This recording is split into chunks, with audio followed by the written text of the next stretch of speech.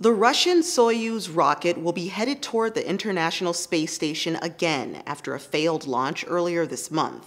NASA says a new crew will be in the atmosphere in December. The previous crew, an American astronaut and Russian cosmonaut, had to make an emergency landing minutes after liftoff. They emerged from the incident safely. The next launch will consist of three new crew members an American, a Russian, and a Canadian. An investigation was conducted after the event, and NASA Chief Jim Bridenstine said Tuesday, We have a really, really good idea of what the issue is. We are getting very close to understanding it even better so we can confidently launch again. Details weren't revealed explaining exactly what that issue was, but a previous statement said there was some kind of anomaly with the booster rocket. Russian officials say they'll complete their accident report by October 30th.